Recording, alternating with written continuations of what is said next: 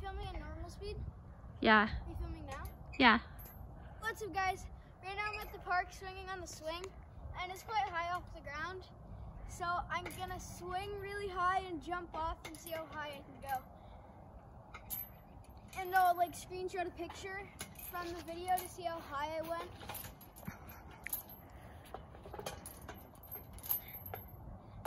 Alright. Just gonna get a bit higher.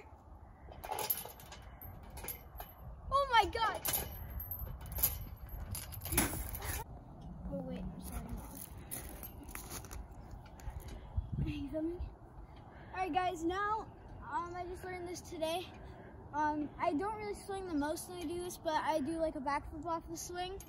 And I want to learn how to do it like swinging more, um, which I might try in a future video for you guys, or maybe in this video, I don't know. But let's just send it. Alright guys, so I am going to try one with a bit more swing. And um, then I'll probably at the end just hop back on and do a nice high jump for you guys.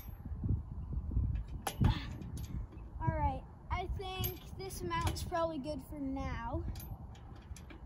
Alright.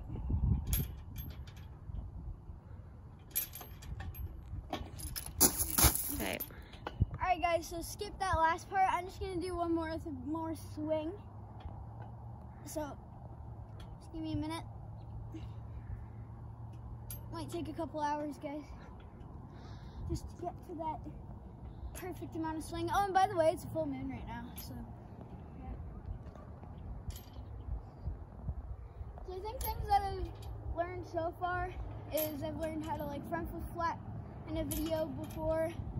Um, I learned how to do moonwalk in a video before and how to backflip off a swing. Well, I didn't really film the learning process. I just kind of sent it and I got it. So, all right, I'll do it from this height. All right.